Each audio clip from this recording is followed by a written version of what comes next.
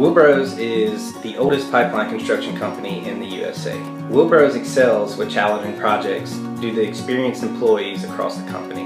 One of these challenging projects that was recently completed is the Houston Ship Channel HDD. The HDD was part of a 15.5 mile 24 inch pipeline system.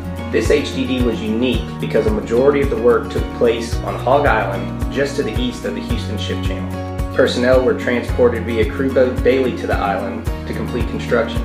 The entry point of the HDD was located on Spillman's Island. The HDD was drilled under the Houston Ship Channel to the exit point which was located on Hog Island. Because this exit point was on an island, the pipe used for the pullback of the HDD had to be floated off of the mainland and pulled via tugboat to be placed in position on the island. It was then pulled onto the island, welded to the HDD stem, and pulled back underneath the Houston Ship Channel all the way back to Spillman's Island. This project was important to Willbros for several reasons.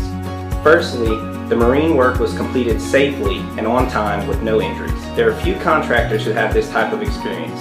There are even fewer who can complete the project with no issues or concerns as this one was completed.